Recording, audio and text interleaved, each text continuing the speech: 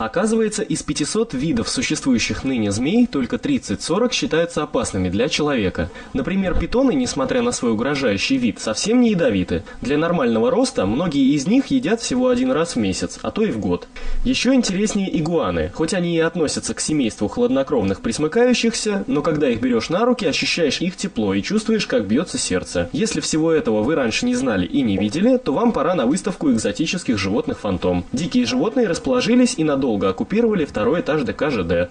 И не зря у выставки такое название, ведь здесь собраны не самые обычные животные. Есть и очень редкие образцы, например, кролик Роджер, тезка известного мультперсонажа, повелитель болот, крокодил Данди, зеленые мартышки, белогубые лягушки и шиншиллы. Все они будут гостить в Орле до 14 мая.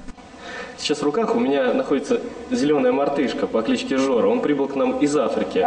Вот э, такое дружелюбное животное и многих других можно наблюдать на выставке экзотических животных «Фантом». Вот они все очень добрые, милые. Полюбоваться экзотическими животными малыши до 5 лет, а также дети-инвалиды или воспитанники детских домов могут бесплатно. С 11 утра и до 7 часов вечера животные из Африки, Австралии и Южной Америки раскрывают перед вами мир джунглей, болот и пустынь. Ты сейчас здесь каких животных увидел интересных? Шинши. Мартышка понравилась. Павел Серов работает на этой выставке уже давно. Он очень любит животных, многих ему даже подарили на день рождения. Он поделится с посетителями знаниями о каждом из своих питомцев. Это питон. Он вот достигает длины до 8 метров, 5 лет. Питается два раза в неделю, там крысы, мыши, все.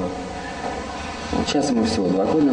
Он 5 лет достигнет 8 да. Живет до 25 лет, так питон.